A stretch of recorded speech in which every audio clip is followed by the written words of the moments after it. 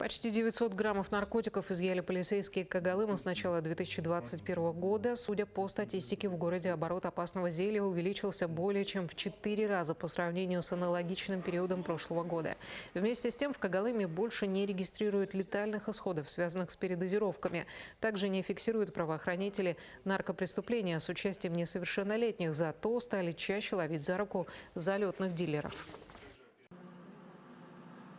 За пять месяцев 2021 года на территории обслуживания отдела МВД России по городу Кагалыму зарегистрировано 34 преступления по линии незаконного оборота наркотиков.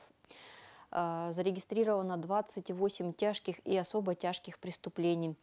Э, Семь уголовных дел окончено и направлено в суд. Стоит отметить, что сейчас в городской больнице с диагнозом наркомания состоят 58 человек. Это на 10 меньше, чем в прошлом году.